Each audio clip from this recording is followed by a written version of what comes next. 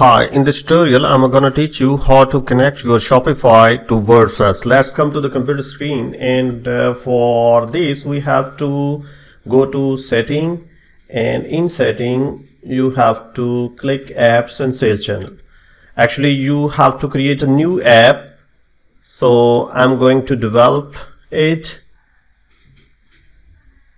create an app app name like uh, WordPress connect. Here is my email.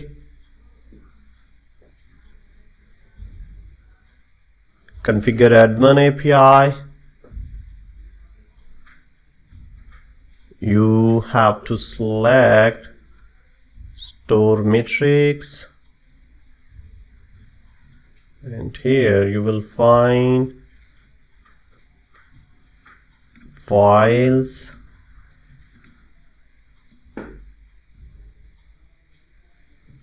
inventory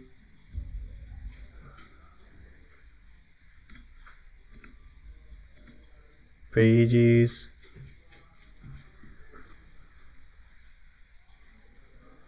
Product listings products publication.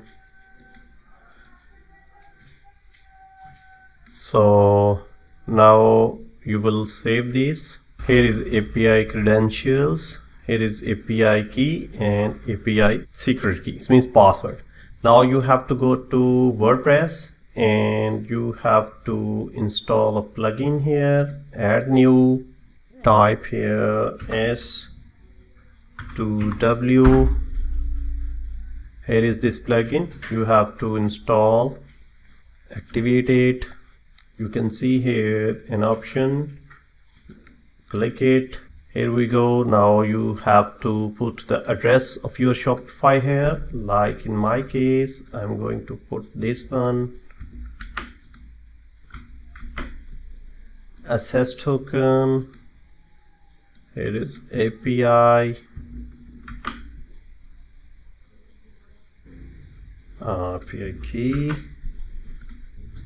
Here is API password and for accessing token you have to install this app. Now copy this and put it here. And now you can do some setting here like if you want to import the products you have to select this so in the same way you can select whether you want to publish pending or draft status of your product and save.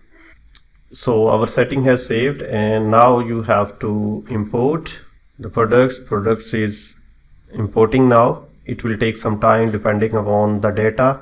You can see four products have imported imported completely. So this is the way how to add your Shopify store to WordPress for importing the products from Shopify to WordPress. Thank you very much for watching this tutorial. Keep watching the next one.